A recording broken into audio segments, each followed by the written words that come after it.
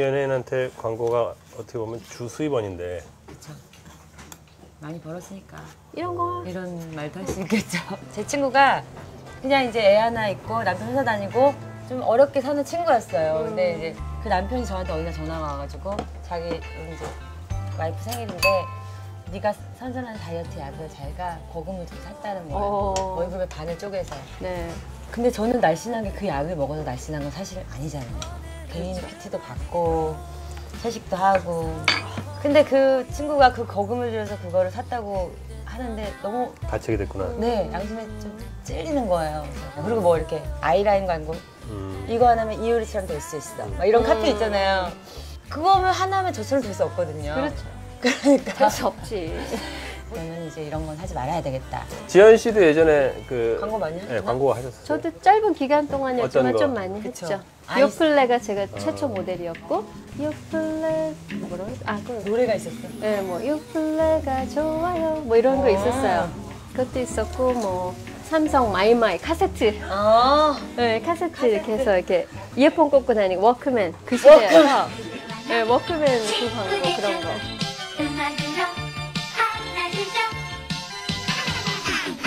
저는 데뷔하고 얼마 지나지 않아서부터 밥솥 광고가 매년 들어왔어요. 잘 어울리실 것 같아요. 밥솥. 응, 응. 근데 정말 어, 한 해도 그래요? 안 빠지고 들어와서 모델로 얼마냐고 물어보고 얼마라고 하면 그 다음에 연락 안 오고. 음. 그게 십몇 년, 너무 높게 부르셨구나. 어. 십몇 년 동안 그러고 나중에 승질 나갖고 네, 안안 한다 한다고. 그래. 어. 조금 낮추세요. 아니 안, 낮춰 되잖아요, 이랬죠. 안 높아요. 알았어 여기 된장이 이게 굉장히 아까 아까 거기서 뭐. 마무리하시는 네, 그게 조금 짜요.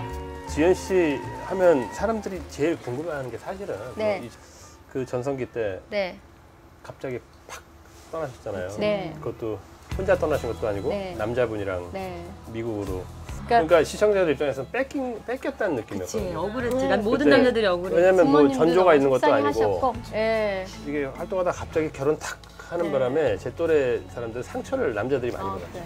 혹시 나한테 차례가 올까 소녀시대가 결혼해서 미국으로 간 거잖아요, 선배님. 그렇죠. 예를 네, 들자면. 국민 여동생 같은 그런 수지, 이미지에서 수지 같은 애가 지금 그렇죠. 그렇게 되는 거죠. 거 네. 네. 그거 안, TV 안 나와 버리고 이제 가는 거죠. 상처 때문이었어요, 선배님? 아니면 사랑 때문이었나요? 어, 둘 다죠. 둘 다. 둘 다. 힘들어, 저는 힘들어. 사랑할 때는 음. 아낌없이 해요.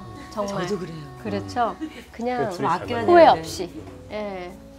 아, 지금 맞아요. 좀 아껴야 되는데 그게 없어요. 막 그게 돈도 좀 주고 그래요? 가지죠. 돈 줘요?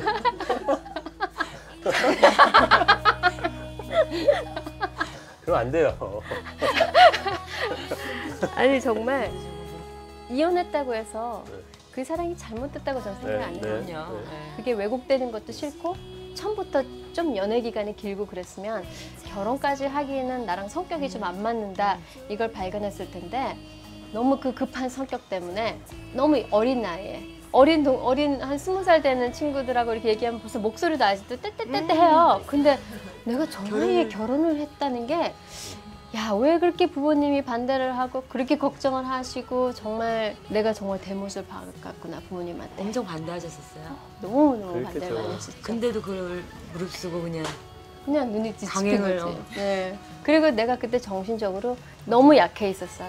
연예계도 그래도 싫고, 몸이 힘들면 네, 방송하는 것도 싫고 유명한 것도 싫고. 루머 사실 1kg. 루머들도 좀 있었죠. 네, 뭐 누구 루머도 뭐 다른 가수를 뭐 때렸다, 때렸다든지. 뭐 아, 이상은 정말요? 이상은 씨 그, 감다디 그, 큰 애를 방송에서 욕을 했다든지 뭐 그런 거. 그런 거 그런 거 사실이 아닌 거죠? 그럼? 그때는 아니죠. 지금은 욕 잘해요. 근데 그 당시에는 그런 것도 할 줄도 모르고 그랬는데 내가 예를 들어서 내가 뭘 했다 그러면 저는 그냥 했다 그래요.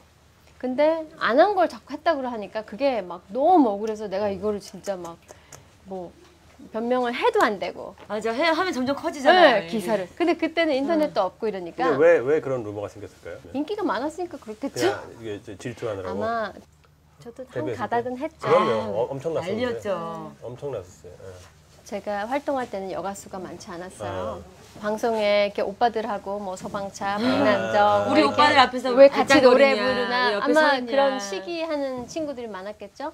그러니까 아마 그렇게 그런 루머가 만들어져서 어, 막 도는데 그때 누가 머리에 껌 붙인 적 아, 있었죠? 그런 적도 맞아요. 그것도 신문에 네. 났던 것 같은데. 예. 긴 머리가 예쁘니까. 자기도 그런 거 많지 않았어요? 옛날에 잭스키스라는 남자분이랑 같이 네.